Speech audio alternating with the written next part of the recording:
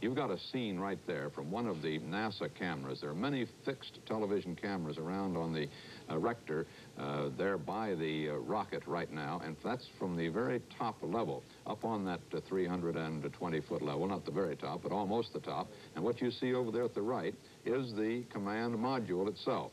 You see that pointed nose of the command module.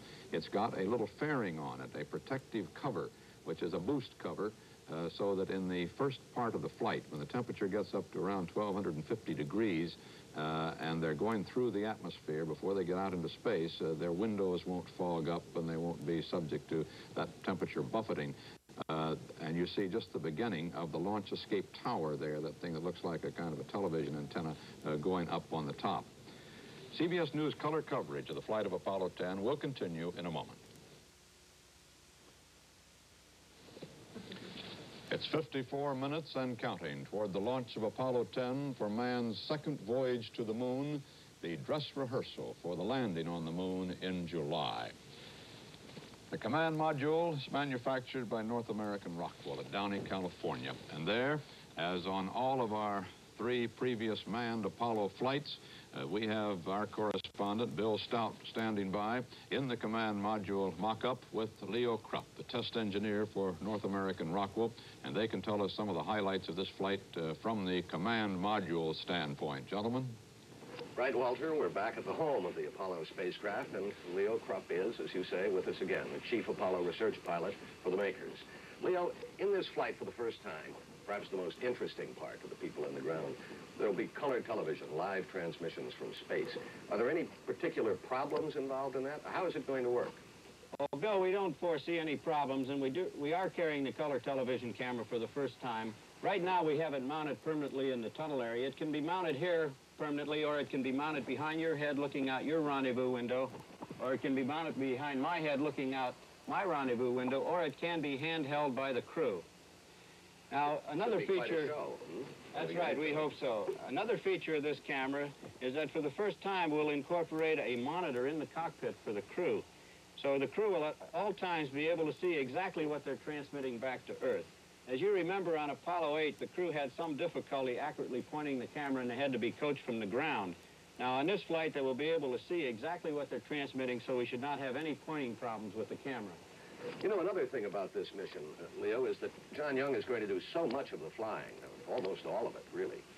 There must be a reason for that. Well, Bill, when you're flying two spacecraft, the piloting tasks become very demanding, so the crews have decided to specialize, and John Young has specialized in the command service module. Uh, Tom Stafford and Gene Cernan have specialized in the command module. And John, as you say, will be doing most of the command module flying, and I, I believe that Stafford and Cernan are very happy about this because if anything should happen after they undock in the lunar module around the moon and they have a problem, John Young is going to have to fly the command module solo to rescue him, so they would like him to be just as proficient as humanly possible in flying the command service module. I should think so. You say if anything should happen. Are the risks on this flight greater, going closer to the moon?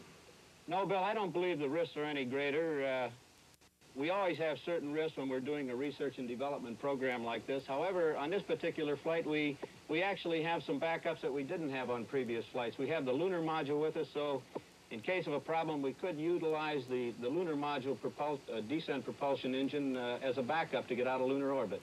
So if there are any greater risks, they're also covered by greater backups. A complicated mission, but certainly essential, Walter, if we're to get a man on the moon in July. Bill and Leo, the countdown is now 51 minutes to launch. What are the uh, men up there doing right now? They've been uh, locked into the command module for about an hour and uh, 10 minutes now. Uh, what have they been doing all that time, and what's going on right now up there? Well, Walter, prior to the uh, prime crew ingressing the command module, the backup crew were in the vehicle, and they went through all the switches in the, in the cockpit and all the valves, and they have them all set uh, for launch. Now, when the prime crew ingresses, their first procedure is to enter the command module, get into their couches, get strapped in, get comfortable. Then they run over an additional checklist of the of the real critical switches to make sure everything is ready. And uh, about this time, the swing arm is being pulled back uh, that allows them to egress the command module. So they're probably in a condition right now where they're ready, if anything should happen, to do a pad abort uh, with the launch escape tower. Pad abort with a launch escape tower means the launch escape tower pulls the command module free of the uh, Saturn rocket, takes it out uh, to a uh, altitude where they can then make a, a re-entry, not actually a re-entry, but a landing uh, using the parachute escape system. Is that right? Uh, that's right, Walter. And uh, as soon as the the walkway is pulled away from the door of the command module, the crew then has the capability of initiating abort and flying their command module to a safe separation dis distance from the pad should anything occur. They've just pulled that walkway uh, away, uh, Leo. We've just seen it on our uh, monitors here. There it is. You can see the uh, walkway uh, entrance there on your left, and the command module now standing alone over there on the right alone on top of the uh, Saturn rocket. Let's look at some of the videotape highlights of this morning's earlier activities, how the spacemen got to their uh, command module, where they now sit there at the 320-foot level. This is Tom Stafford at uh, breakfast this morning, and uh, Eugene Cernan, John Young, as they uh, have their breakfast, they were had uh, a, this is Cernan here, they had for breakfast with them George Low, the Apollo spacecraft program manager, and uh, some other officials of the program, as well as uh, three or four other astronauts. This is John Young, at 35, the youngest member of the, uh, or he's 38, Cernan's 35. Here is Cernan. He made that spacewalk on Gemini 9 with uh, Tom Stafford at the controls of the Gemini spacecraft. Tom uh, and his crew are the most experienced ever to go aloft. All three of them have flown before, two of them twice, and uh, Cernan. Uh, they have made 60% of the rendezvous that have been made in space. They're undoubtedly the, the best trained, the best uh, uh, prepared crew for a mission as difficult as this one.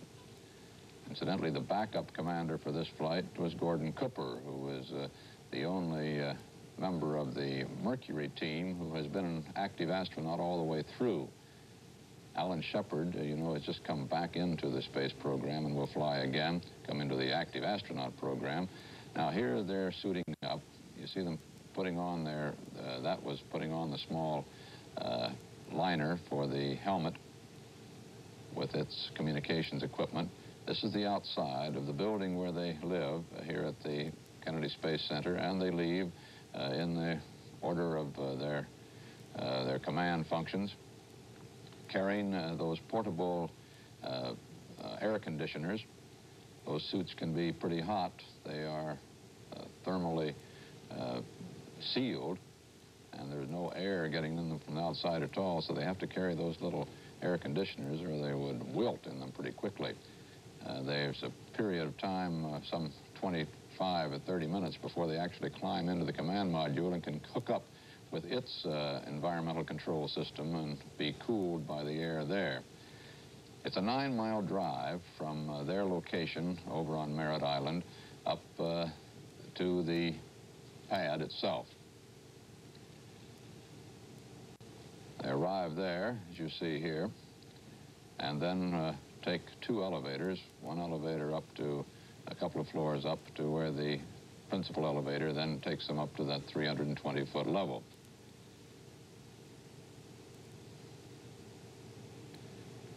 This their last contact with uh, the good Earth for eight days. And uh, in their case, because they're going up here at this hour, it was about an hour and a half ago, it'll be another eight days and one and a half hours before they come back. Now across a little walkway at the 320-foot level to the white room. The cabin that clamps around the command module permits the suit uh, and uh, cabin technicians to work and prepare the spacecraft for the launch. The three seats are abreast in the command module. And uh, the center seat is uh, tilted forward even as in a uh, five-passenger two-door car.